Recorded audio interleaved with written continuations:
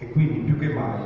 eh, appoggiamo e cerchiamo di far sapere a tutti che eh, posti come Taranto, eh, dove c'è l'Ital Sider che da anni purtroppo fa sentire eh, i suoi effetti negativi sulla popolazione, su Brindisi dove incredibilmente ancora in Italia abbiamo una centrale a carbone, cioè cose che esistevano fino a 30-40 anni fa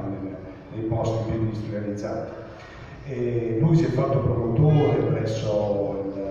l'ANCI, eh, presso il Presidente della Regione, ero presente anch'io l'ultima volta quando ci ha parlato e gliel'ho ricordato al Presidente della Regione proprio qualche giorno fa che l'ho incontrato, gli ho detto eh, Presidente saluti da, da Nicola Conenna che eh, vi ricordiamo sempre quanto è importante per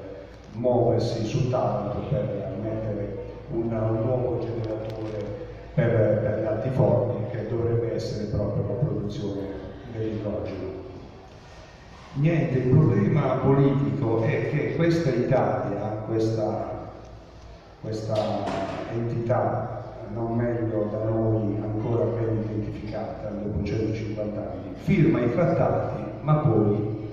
non mantiene fede a quello che firma. Cioè qui stiamo parlando di una cosa talmente importante.